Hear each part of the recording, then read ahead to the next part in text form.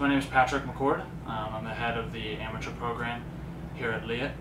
Um, and we're out at uh, Monster Energy Cup um, here to support a couple of our, or actually I should say more than a couple, um, about eight of our top um, elite amateur riders um, that have been invited uh, between the two amateur all-star classes. I've been at Leatt for uh, almost six years now, and just about a couple years ago, with some a lot of changes in the company, we um, we decided one of the big focuses that we wanted to have moving forward was um, an elite amateur program um, to compete with um, some of the other bigger brands in the industry um, and really support um, the amateurs, obviously the future of the sport, as we all say, and accomplishing some of their goals. And then obviously what the Leatt brand is about is keeping them all safe at the same time.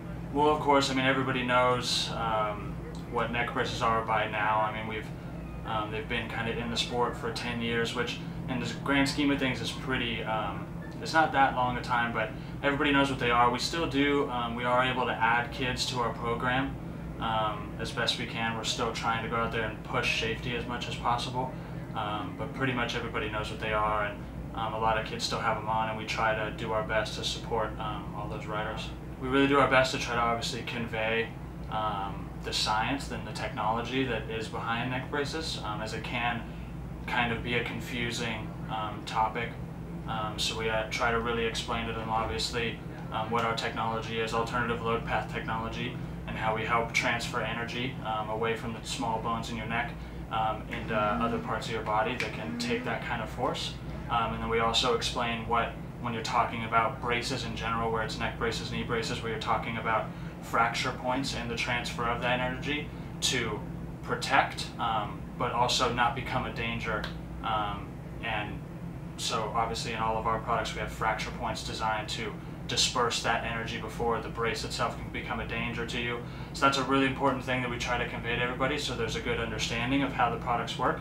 Um, and then obviously that track side support that we give to um, whether the kid is actually a part of our program or just a, somebody who wears a neck brace in general, we're always eager to help as best we can when we maybe see something that's not fitted correctly to try to get everybody set up as optimally as possible so they're ultimately as safe as possible. As you're one of the kids that uh, you guys see um, in this video, Max Miller, um, who's been a part of our program for a few years now and been a, a Leatt athlete, you could say, for probably his whole um, amateur racing career. Um, has really had a breakout the year this year. We're really happy for him. Um, and we've always obviously seen that in him, the talent. He's really put it together this year um, with championships at um, all of the, the big amateur nationals um, and came up just short of some championships this year at Loretta's um, due to some bad motos, but everybody knows the weather this year was really, that's kind of the story for everybody, but we're really excited for him.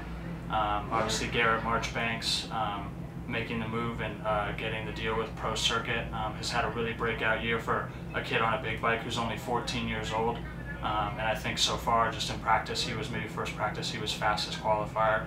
Um, so he is really making a name for himself. Um, and Carson Mumford also making the move to Geico this year and really having a good year out there on the 150 against all the two strokes. That's been really awesome to, to be there right along with him. Hey, what's up? Carson Mumford, right here at Monster Energy Cup.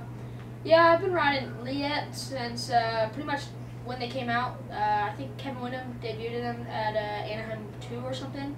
And uh, from then on, we really were interested in running them and uh, never really did any other neck brace since then. We, uh, we really love the Leatt and the whole family.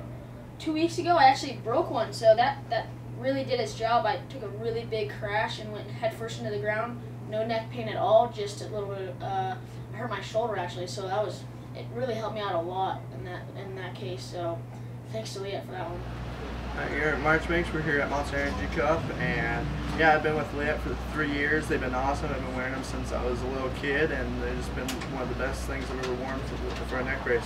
The neck brace, I've been so thankful for it. Like, I've had so many crashes where someone's landed on my neck. That happened when I was on a little kid on 50s, and it protected my neck from breaking, and just bikes landing on you from anything. But it's just, it keeps your neck really safe.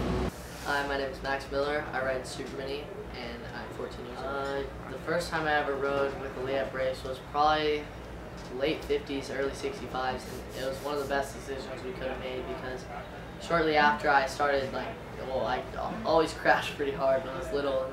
And it just, I felt like I felt more secure when I wore it. And then when I was, uh, I think it was 2013, I um, was at my house riding, and there's this rhythm section that went double, double, double, and I went triple, triple, and then I did it a few times, and one time I landed it, hit neutral, and endo, and landed right on my head.